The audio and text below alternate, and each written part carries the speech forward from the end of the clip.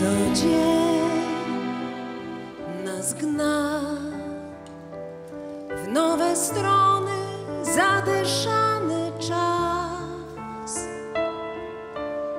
Sto dat, sto spraw wciąga nas,